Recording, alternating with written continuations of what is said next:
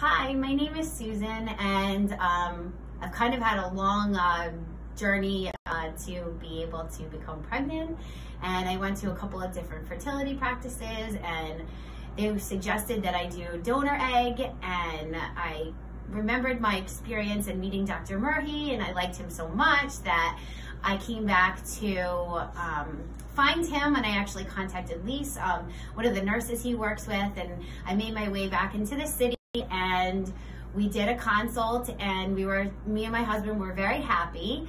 And we did a series of mini IVF cycles and we banked embryos and then we, um, much of that wasn't working, so we tried the PRP, um, the platelet rich plasma, um, and that worked. And so now I am nine weeks.